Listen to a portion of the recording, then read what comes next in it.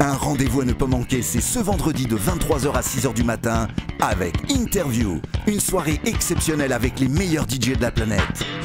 Interview, c'est sur Dynamic Radio ce vendredi dès 23h.